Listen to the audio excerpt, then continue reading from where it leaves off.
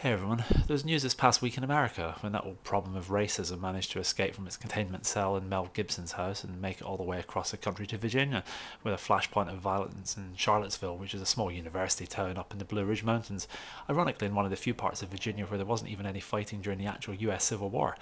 It was always liable to turn violent, and surprise, surprise, it did, and then President Trump decided to troll everybody by saying that everyone was equally to blame and implied that when the KKK make questionable scientific claims, there's some kind of moral equivalence with the lying mainstream media. The rise of social bubbles and selective internet news doesn't really help either, but that's an age old problem.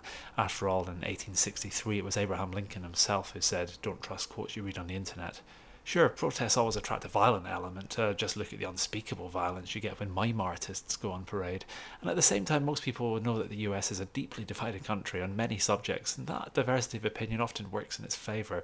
But we also kind of assume that nowadays the more extreme elements of the white supremacy movement listen to their own advice and what's that, you know, kept themselves to themselves.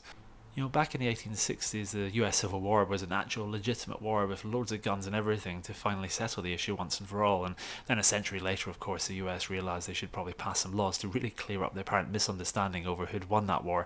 You know, sometimes we don't like what's in the history books. Just ask David Cameron about the thing with the pig. But sometimes we should actually probably focus on the bad stuff so we can teach its lessons properly. Anyway, see you next week. If you like these, click subscribe.